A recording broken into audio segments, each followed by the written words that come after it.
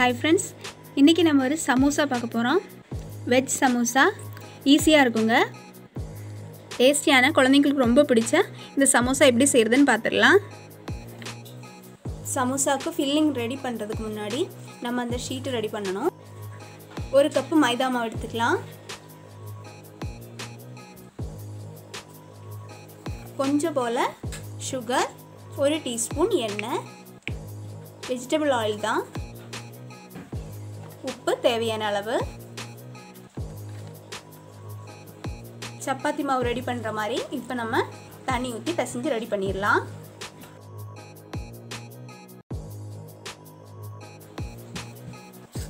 இப்போ நம்ம ரெடி பண்ணிட்டோம். நம்ம மாவு ரெடி பண்ணிட்டோம். இது இருக்கட்டும். அந்த டைமில் நம்ம ஃபில்லிங் ரெடி பண்ணிடலாம்.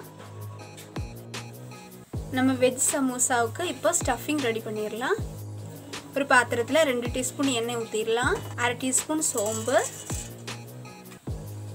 நல்லா பொரிஞ்சு வரட்டும். ஒரு பெரிய வெங்காயம் நல்லா சோப் பண்ணது.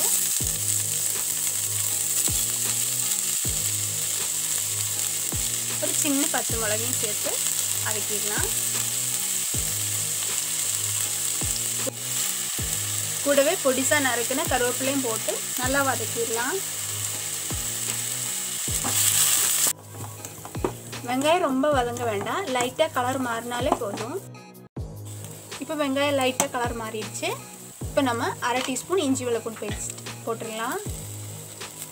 அது லைட்டாக வதங்கட்டும். அரை டீஸ்பூன் மிளகா பொடி சேர்த்துடலாம். ஆப்ஷனல் தான். கால் டீஸ்பூன் மஞ்சத்தூள். கால் டீஸ்பூன் கரம் மசாலா. நல்லா மிக்ஸ் பண்ணிடலாம். பச்சை வாசனை போகட்டும். இப்போ நம்ம மசாலா நல்லா வதங்கியாச்சு. நம்ம எடுத்து வச்சுருந்த வெஜிடபிள்ஸ் போட்டுடலாம். ஒரு மீடியம் சைஸ் உருளைக்கிழங்கு க்யூப்ஸாக கட் பண்ணி வச்சுருக்கிறது. ஒரு கேரட்டு அப்புறம் ஒரு அஞ்சாறு பீன்ஸு இந்த மாதிரி கட் பண்ணி வச்சுக்கோங்க. ஒரு கால் கப்பு க்ரீன் பீன்ஸு அது நம்ம ஏற்கனவே வேக வச்சு வச்சுருக்கிறது தான் இப்போ இந்த வெஜிடபிள்ஸ் எல்லாம் மசாலாவோடு சேர்த்துடலாம்.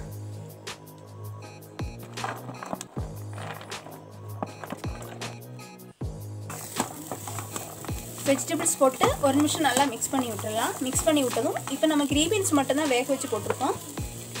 உருளைக்கிழங்கு கேரட்டெல்லாம் வேகலை. அது வேக வைக்கிறதுக்கு இப்போ தேவையான அளவுக்கு உப்பு போட்டு தண்ணி ஊற்றி மூடி போட்டு வேக வச்சிடலாம்.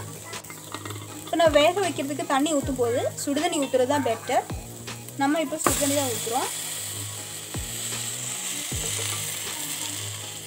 நல்லா மிக்ஸ் பண்ணி மூடி போட்டு வேக வச்சு எடுத்துடலாம் வேகட்டும். சமோசாக்கு தேவையான ஷீட் ரெடி பண்ணிடலாம்.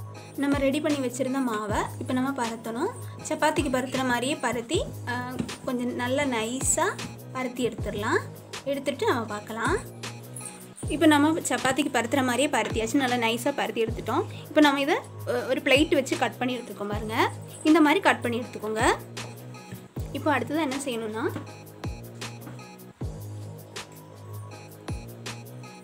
கரெக்டாக சென்டரில் ஒரு கோடு போட்டுருங்க.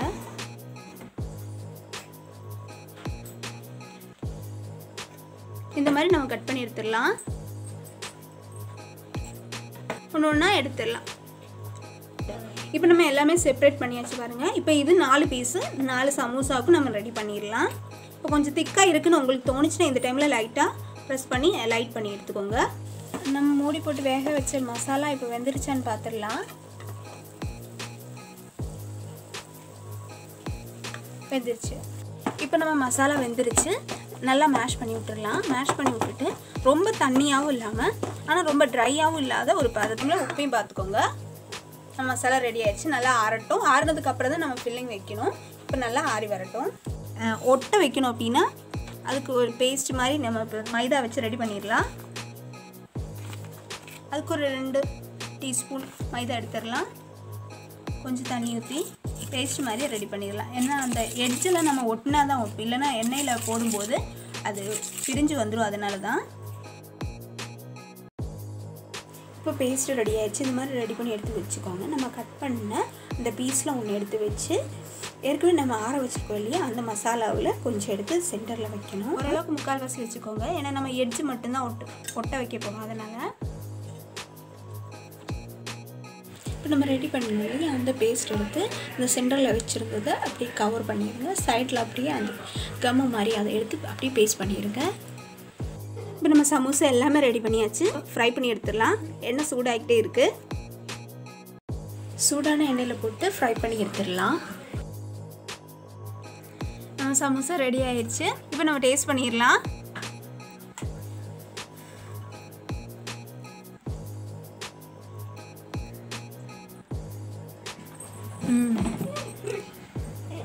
சூப்பராக இருந்திருக்கு. உள்ள நல்லா ஜூஸியாக இருக்குது கண்டிப்பாக எல்லாருமே ட்ரை பண்ணுங்கள் இன்னொரு சூப்பரான ரெசிபியோட நாங்கள் வரோம். பாய்